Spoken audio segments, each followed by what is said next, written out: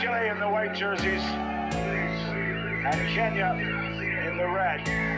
Nice traveling to be here in Dubai and to fight for this championship. The men's cup final underway. Kenya kicking from left to right. Wonderful creator.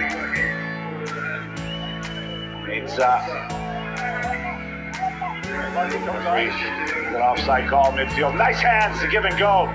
And the man, the star of the tournament thus far, Patrick Odongo Okongo, gets Kenya on the board.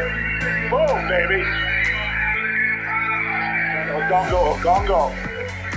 Used his pace, used his. What a strike from the incorrect touchline. An amazing kick. Less than three minutes to play.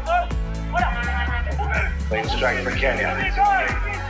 Sideways, no, pops up. He's got it again. Incredible stuff. He can't stop scoring. Patrick Odongo Okongo. Extend.